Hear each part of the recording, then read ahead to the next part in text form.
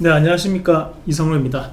자 매주 월요일하고 수요일은 저희가 주식은 원리가 중요합니다. 영상을 업로드를 하고 있습니다. 자 이 영상을 통해서 오늘 공부해 볼 내용은 순매수 그리고 매수 매도. 외국인들이 고점에서 파는 신호 어, 그런 부분에 대해서 한번 같이 공부를 해 보도록 하겠습니다. 자 우리가 사실 이제 뭐 매수와 매도 상당히 중요한 부분이죠. 왜냐하면 사는 것과 파는 거기 때문에 당연히 중요한 거고요. 거기에 이제 순매수에 대한 부분과 어, 그리고 이제 매도율에 대한 부분도 함께 한번 공부를 해 보도록 하겠습니다.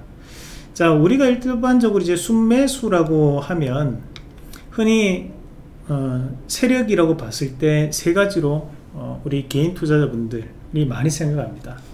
그래서 우리가 평소 때 얘기할 때 개인이 있고 어, 그리고 외국인 외국인이 있고 어, 그리고 이제 기관이 있는데요. 자 이렇게 개인 외국인 기관에 대한 움직임으로 어, 우리가 흔히들 순매수기 때문에 0이 된다고 생각하지만 그것이 아니죠. 뒤에 나오는 이제 기타 법인과 내외국인을 다 더하고 빼야지만 0이 됩니다.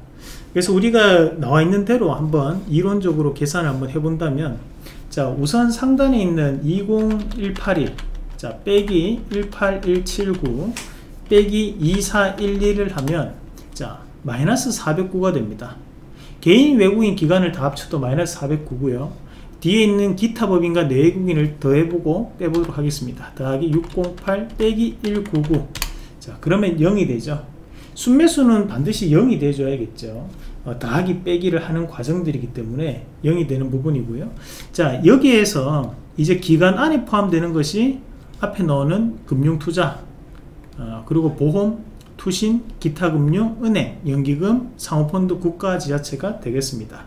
자 마찬가지로 또 한번 계산해 보면 6713 빼기 1898 더하기 1013 빼기 4 더하기 487 빼기 8598 빼기 124는 2411이 순매도가 됐는데 자 그것이 바로 기간의 총 합이 된다고 알고 계시면 되겠습니다. 자, 우리가 이제 매수 안에는 금액과 수량으로 같이 알아볼 수 있는데요. 단위는 100만원 단위와 단주, 한마디로 한 주 단위라고 생각하시면 되고, 자, 거기에서 순매수 말고 매수를 눌러보면 오늘 총 들어왔던 금액이 나옵니다. 자, 그리고 매도를 눌러보면 오늘 매도한 총 금액이 나오게 됩니다. 자, 이 부분이 상당히 중요합니다. 왜 중요하냐면, 자, 우리가 매도와 매수에 대한 부분을 알아야지만 매도율이라는 것을 구할 수가 있거든요. 자, 그 말은 뭐냐면 똑같은 순매수가 10이 나오더라도 어, 우리가 그 안의 계산 과정은 달라질 수 있다는 거죠. 자, 매수가 100이었고 거기에 매도가 90이었다면 순매수는 10이 됩니다. 그리고 거기에 매도율은 플러스 90%가 되죠. 자, 마찬가지로 똑같은 매수가 10에 들어왔을 때 매도가 0이라면 순매수는 10이 됩니다. 앞서 봤던 100에서 90을 뺀 것도 10이었죠. 하지만 밑에 부분은 매도율은 0이 됩니다. 자, 왜 이런 차이가 발생을 할까? 결국에는 밑에 거는 10개를 사는 동안 아무도 팔지 않았다는 얘기고 위에 거는 100개를 사는 동안 90은 팔았다는 얘기죠. 우리가 이 부분이 중요한 것은 기관이라는 것이 단일 객체가 아니고요. 외국인도 단일 객체가 아니고 개인도 단일 객체가 아니기 때문이죠. 자, 주식은 흔히 우리가 대중 심리로 움직인다는 얘기를 많이 합니다. 그러면 외국인 어, 창구, 투자 창구 안에서도 많은 외국인들이 있는데 그 중에서 대중들의 심리는 어떤 방향을 가리키고 있는가요? 10명이 사는 동안 평균적으로 8명이 팔았다면 매도율 자체가 높게 나타나지만 10명이 사는 동안 아무도 팔지 않았다면 아 지금 자리는 상당한 매수 국면에 해당하는 매수 강세를 보인다라고 우리가 해석할 수 있다는 거죠. 자 그것은 기관에서도 마찬가지인데요. 오늘 기관에서 많은 물량이 들어왔는데 그 중에서 매수가 100이었고 매도가 0이었다. 그러면 그 많은 NH투자증권 뭐 또는 유한타 뭐 삼성 대신 이런 증권사 투자 창구들이 다 매수를 보였다는 얘기거든요.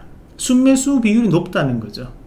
한마디로 매도율이 낮을수록 그만큼에 대해서 순매수에 대한 매수 강세가 시작되는 시점이라고 우리가 알 수 있다는 거예요. 자, 그럼 여기서 실전으로 활용을 한번 해보는 방법인데, 자, 그림을 보면 삼성전자에 대한 주가 추이가 나옵니다. 그러면 하단에 보시면 작년 7월달 2020년 7월달에 주가가 한번 신고가를 가는 움직임이 나타났었고 그 이후에 다시 한번 더 조정을 보이고 다음에 다시 한번 더 박수권을 돌파했던 것이 바로 11월달이거든요. 그리고 지금 현재 1월달에 고가 96,800원까지 올라왔던 자리가 보이는데요.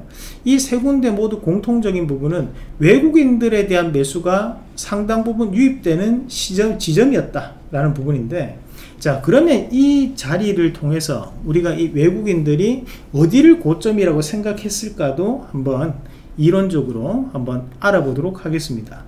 자 그러면 맨 오른쪽에 있던 1월 8일 날 외국인들은 120 13만 259를 아 121만 3259를 매수를 했다면 매도는 61만 495를 매도를 했습니다 자 그러면 외국인들에 대한 매도율은 50.3%가 되고요. 자그 밑에 외국인들은 49만 3,320을 매수를 했는데 11월 5일날 매도한 것은 75,975였습니다. 그럼 여기에 맞춰 가지고 우리가 매도율을 구해보면 15.4가 매도율이 되겠죠. 자 마찬가지로 7월 28일날 121만 1950을 매수를 했는데요 거기에 매도는 29만 1121을 매도를 했습니다. 그러면서 외국인들에 대한 매도율은 24%가 됩니다. 자, 한번 맨 밑에 것만 계산을 한번 해보도록 하겠습니다. 자, 그럼 29만 1121에서 나누기 121만 1950을 하면 24%가 됩니다. 맨 위에 거 마찬가지로 61만 495 나누기 121만 3259를 하면 매도율은 50.3%가 되겠죠. 그러면 이 세 가지에 대해서 외국인들이 모두 다 많은 매수를 보였음에도 불구하고 가장 적극적인 매수를 했던 것은 11월 5일이었다는 얘기가 될 수 있죠.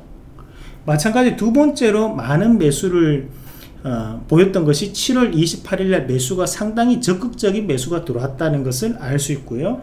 대신에 1월 8일 같은 경우에는 외국인들 10명이 매수를 할 때 5명은 매도를 하고 있었다는 말이 됩니다. 자, 그러면 여기에 따른 차이에서 주가도 어떻게 움직일 수 있느냐?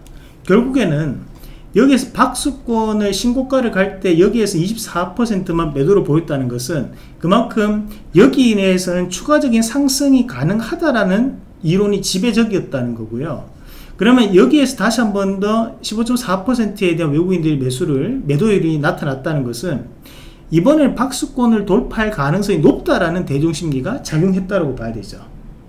대신 중요한 것은 96,800원까지 올라왔을 때 언론에서는 호들갑을 떨면서 우리 개인 투자들한테 삼성전자를 사라고 상당히 많은 얘기를 방송에서 매스컴에서 다뤘지만 실질적으로 외국인들은 두 명 중에 한 명은 지금 팔고 있었던 자리였다. 자, 그러면 여기에서 7월달과 11월달, 1월달 여기에서 매도가 제일 높은 자리는 96,800원인데 우리가 이걸 알고 있었다면 한 번쯤 의심을 해봐야 되는 자리죠. 자, 그 이후에 삼성전자는 주가가 꾸준하게 하락하면서 자, 현재까지 내려오고 있는 시점입니다. 자, 중간중간에 외국인들이 매수가 유입되는 모습이 나타났더라도 매도율 자체는 상당히 높게 나타났습니다. 자, 이를 통해서 우리는 이 외국인들에 대한 투자 심리를 해석을 할 수 있는 거고, 자, 이렇게 신고가를 가는 종목군들은 이렇게 기관과 외국인들에 대한 매도율을 반드시 체크를 해야지만 우리가 고점을 어, 파악할 수 있다는 것도 꼭 기억을 하시길 바라겠습니다. 자, 오늘 이렇게 매도율에 대해서 한번 알아봤고요. 또 다음 시간에 또 좋은 내용 준비해서 함께 또 시장에 대해서 주식의 원리를 공부해 보도록 하겠습니다. 좋아요와 구독하기 많이 해주시길 바라겠습니다. 이상입니다.